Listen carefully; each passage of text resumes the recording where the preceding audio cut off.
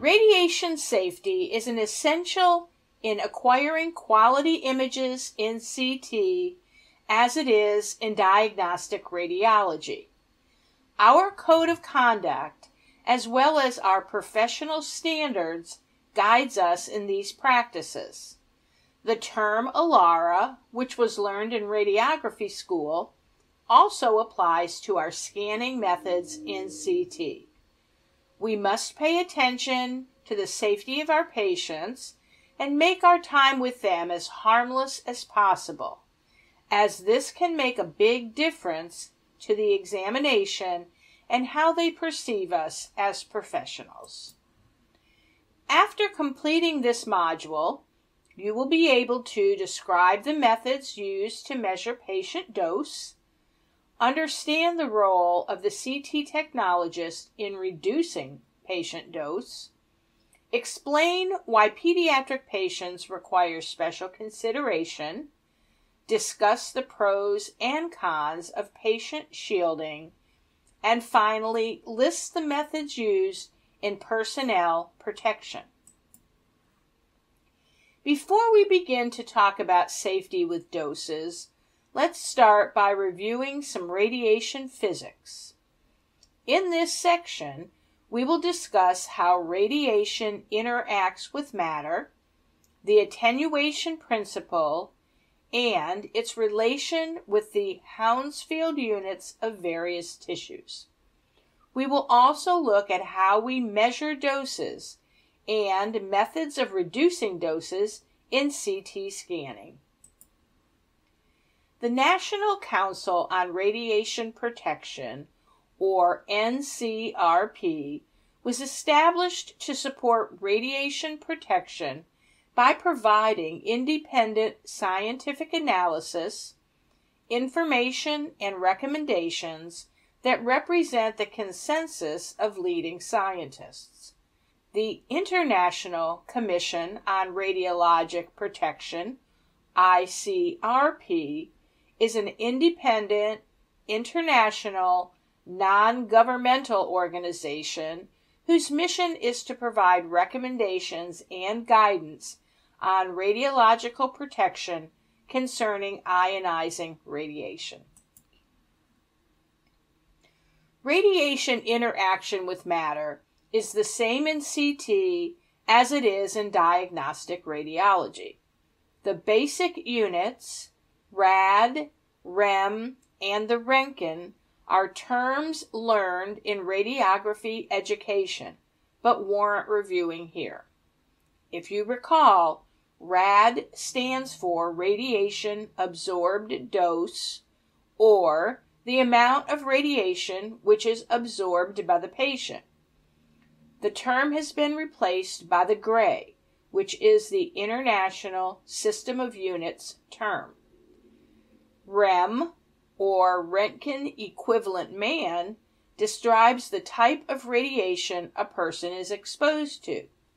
This term is used in measuring the dosage that personnel working in CT use who are exposed to. It has been replaced with the International Systems of Units term Sievert. And finally, the Roentgen which is used to measure how much radiation is in the air. It is important to remember that you will not have to calculate patient dose as the CT scanner will do this for you. Let's now look at how radiation is attenuated.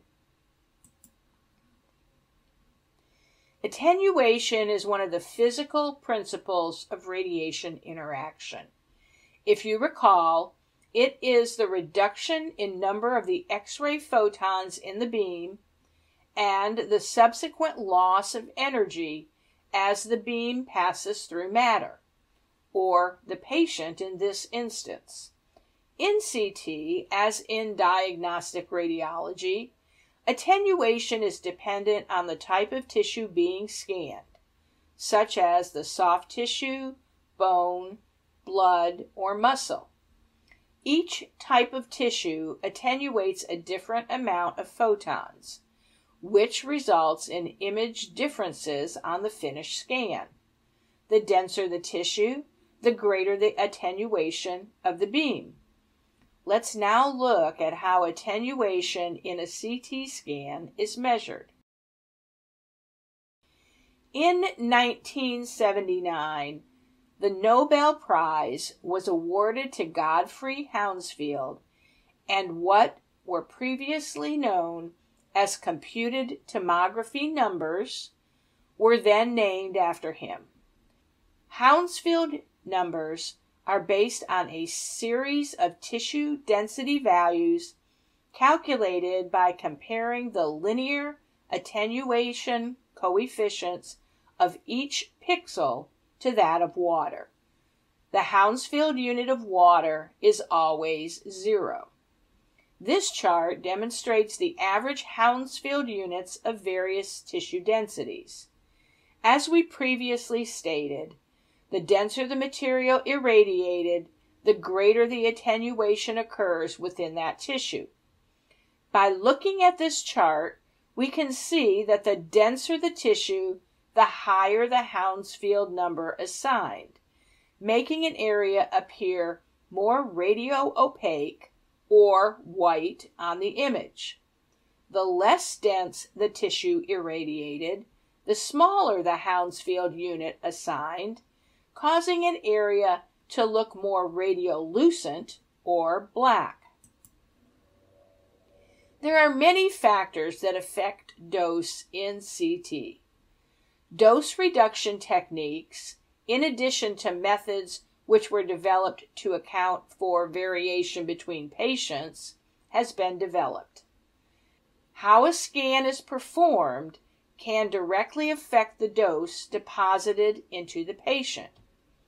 Patient specific factors include age, size, and sex, all of which play a role in deposited dosage. We need to discuss the absorbed dose, the delivered dose, and the effective dose. While there are many stakeholders, such as the FDA and the NRC, who oversee patient and personnel safety, the first line of defense in the use of CT dose reduction is the individual facility. Radiologists, technologists, and physicists play an important role in reducing doses during scanning. Let's talk about how we do this. Thanks for watching.